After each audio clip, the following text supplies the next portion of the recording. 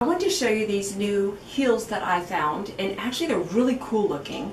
They're by FeelMe. They are some vintage bow knot shoes and they probably look super good with a pair of jeans but I wear dresses more than jeans. These are the size 41 that according to their size chart equals a 10 and a half and I'm normally a 10. Now my advice to you is if you love these shoes as much as I do, they are super cute, aren't they? So very unlike everybody else's shoes. But if you love them as much as I do, go a size larger than you normally wear because normally I'm a size 10 and these are a 10 and a half and yes they fit me and they're not terribly uncomfortable but I I'm used to I'm used to having a little bit more movement around my toe than what I have here. It doesn't hurt, it's not squeezing my toe but my toe does not have as much movement as I normally like to have. So I'm going to say they're probably one size smaller than what one would expect, and it may be an aberration with my shoes. So I'm not swearing this in blood since I've only gotten one pair, but that would be my recommendation right off the bat. Wouldn't they look cute with a pair of jeans if you're really into jeans? Look at that. Okay, let's look at these a little bit closer here.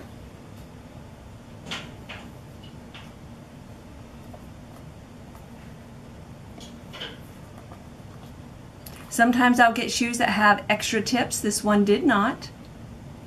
It's not a problem, I just want you to know. Huge shoe size. I have big feet. 41.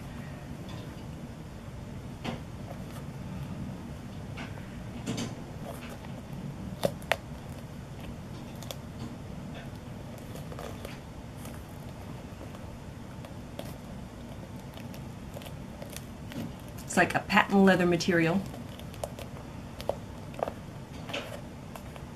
There's one thing I want to say about these as I'm boring you with all these close-ups, just trying to help you get to know the shoes better.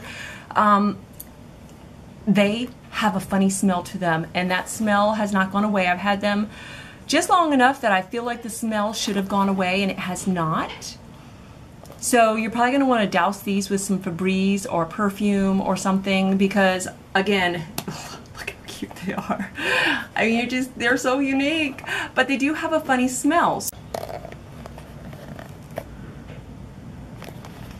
This right here has a very firm, I don't know, it feels like when I press it, it it feels like I've got a slight amount of cushion, like a little bit of a padding over top of what feels like a steel bar. And I'm, wow, yeah, there is no flexibility. So there is like a steel bar in here holding this together. And that's, that's, that sounds like quality, but I don't know.